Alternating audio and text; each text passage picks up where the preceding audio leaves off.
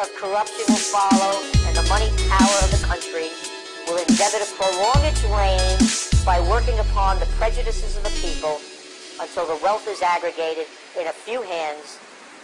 and the republic.